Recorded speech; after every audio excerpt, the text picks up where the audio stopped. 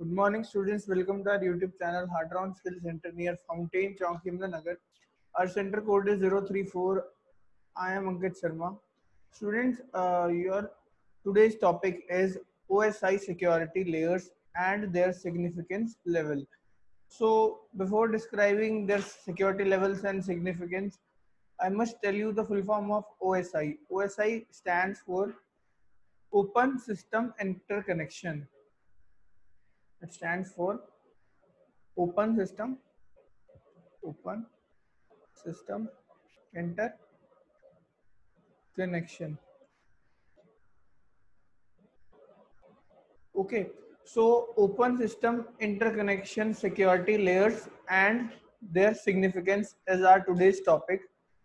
I have been starting from the OSI model, then I'll be discussing the contents are what is OSI model and implementations of security methods within the OSI model.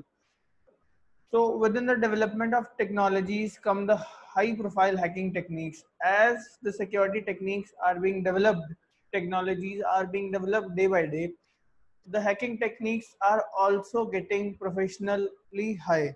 Yeah, the, it is also getting professionally high as the profile of the hacking techniques is being rapidly increasing. So for this reason, security professionals are in a massive demand. the person who knows something about security issues, security professionals. Security professionals are whom those have a great knowledge of security purposes, security technologies are known as security professionals. So security professionals and security analysts have a great demand today. And they have to understand the fundamentals of how network layers work. So for security professionals or for analysts, it requires them to learn the fundamentals to understand the fundamentals of network layers how it works and what are the key ingredients that can make the security in every layer stronger because as the hacker are getting day by day incremented we need that security professionals or security analysts must be up to date with that kind of hacking so for them they have to make all the layers of OSI model stronger day by day. So in this lecture, we will discuss the security mechanisms and different measures that need to be taken in each layer of the OSI model. We'll be discussing every layer of OSI model. So what is OSI model? Our first topic what is OSI model? As I told you, the full form of OSI that is Open System Interconnection. So before going into security, it is necessary to know what are the basics of networking and its models. Before directly going to the OSI models or before directly going to the networking, security networking, we should know the basics of networking and its models. The OSI model. It is the hypothetical networking framework that uses specific protocols and mechanisms in every layer of it. What OSI model do? It is a hypothetical networking framework. Okay, that uses specific protocols and mechanism. There are if there are one, two, three, four, five, six, and seven layers. In OSI model, there are seven layers. On each layer, there is a mechanism and specific protocols to make that layer stronger this model is used to divide the network architectures into seven differently layers conceptually. So there are seven layers of networkings. Okay, we'll be starting from the first one that is physical layer. After that, we will be discussing network layer, data link layer, transport layer, session layers, presentation layers, and the last but not the least is application layer. So first one is physical layer Next comes data link layer.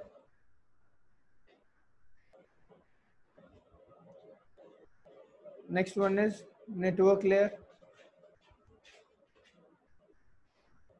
This topic comes in your computer networks. If you have a subject computer networks, then you will be getting good. You have been going through this. Okay. So first one is physical layer. Second one is data link layer. Third one is network layer Fourth one comes is transport layer. Fifth one comes session layer. We'll be discussing these layers and details. Next one is presentation layer. And last is application layer. So we'll not be discussing the whole layers in today's lecture. We'll be discussing the half of the layers in today's lecture. The next, in the next lecture, we'll be discussing the other ones. So I'll be giving the details of every layer. So let's start with the first one that is physical layer.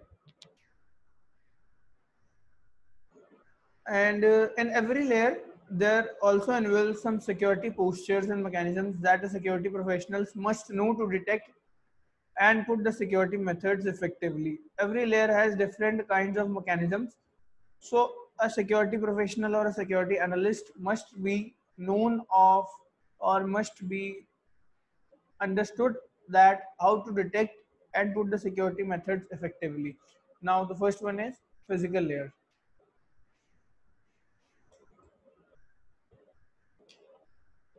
Physical layer. So what is physical layer? And the first three layers of the OSI model are called media layers. It, they are called media layers because they are used as a media purpose. So the first three layers that is physical layer, data link layer and network layer are called media layers. So let's start with the physical layer. Physical layer is used for defining the technical qualifications of the data connectivity. The it is the layer which is used to define the technical qualifications. That is physically we use some technical issues there are some technical issues or sometimes the servers goes down. These are called technical issues. So uh, technical qualifications of data connectivity. Since the security in this layer is critical it is very critical security okay so in case of any cyber danger, it is recommended to unplug the cable from the primary system, safeguarding the layers need to biometric security, camera-based surveillance, key cards, and other physical monitoring. Physical layer comes in physical objects like CCTV cameras, biometric securities, camera-based surveillance, key cards, and other physical monitorings are the part of physical layers. We just have to make it is recommended to unplug all these things to start that physical layer. When we used to start that physical layer we'll be doing what we'll be doing we'll be removing all the physical activities like physically removing that camera based surveillance and all such things. So next one comes is data link layer. Data link layer so data link layer, what data link layer consists of? It compromises data packets transported from the physical layer. These all layers are interconnected with each other. If physical net layer will not be working, then data link layer will also be not be working because data link layer depends upon physical layer. Next comes is network layer depends upon data link layer, which depends upon physical layer. So these all are interconnected and goes in a sequence Data link layer compromises of data packets transported from the physical layer. It has, I'm mentioning this, key data link layer comprises of data packets. The physical layer, what kind of data or information came from physical layers comes and data packets transported from the physical layer. Physical layer transports the data or information in data packets okay? Any malfunctioning in this layer or data breach can be impede the working of the network layer. Vulnerabilities that can be used and attacked that can be made in this layer are MAC addresses spoofing as well as virtual LAN circumvention. These are so, these are the kinds of attacks which could help in this data link layer that are MAC address hacking, spoofing, as well as virtual LAN circumvention. So for protecting your system, common security mechanisms like MAC address filtering are used. Assessment of wireless applications are used. Checking of proper data encryption standards are also used. Data link layer sends further these networks to these kind of data packets to network layers. Physical layer is the physical surveillance. Data link layer is the kind of data coming in being encrypted into the data link layer. So what it do? Data comes from MAC addresses or something like virtual LAN circumvention. Circumvention. So all these kind of spoofing are held by the network issues. So data link layer has the kind of MAC address filtering and assessment of that wireless applications. Next comes as network layer.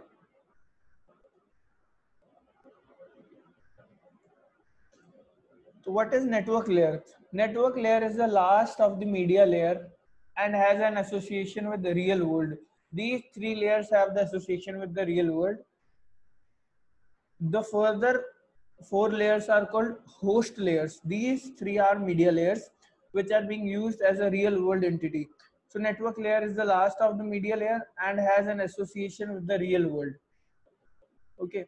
It deals with the addressing and routing of packets.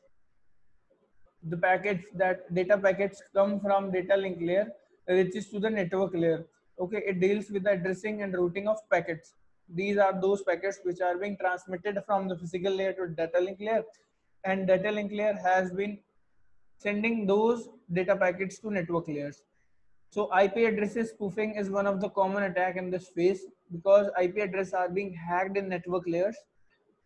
So strengthening of this layer needs to technique of firm and anti-spoofing proper implementations of firewalls. Firewalls helps the network layers for getting attacked by the viruses or like IP addresses hacking and routing filters as well as secure routing protocols. So network layer consists of anti-spoofing, proper implementation of firewalls and routing filters, as well as secure routing protocols. So in this class, we will be discussing only the three media layers, which is physical layer, data link layer, and network layer. In physical la layer, I told you that there is physical issues like physical monitoring, like CCTV cameras, camera-based surveillance, key cards, biometric securities, all these which are held physically are known as physical layer. Data link layer consists of virtual LAN circumvention and MAC addresses spoofing. This is called data link layer. And for this wireless application and MAC address filtering are being used. Next comes this network layer. Network layer is the last media layer. As I told you, the first three are the media layers. The other four are the host layers. So it is the last media layer which is in contact with the real world. So it will be called uh, real world layers or media layers. In this kind of layer, we get to know that IP address spoofing has been a kind of attack or virus. For that, we have made anti-spoofing proper implementation of firewalls and routing filters and routing protocols. So the next in next lecture, I will be discussing transport layer, session layer, presentation layer, application layer. The person or the individual who knows these layers are a part of security professionals or security analysts. Okay, students, thank you.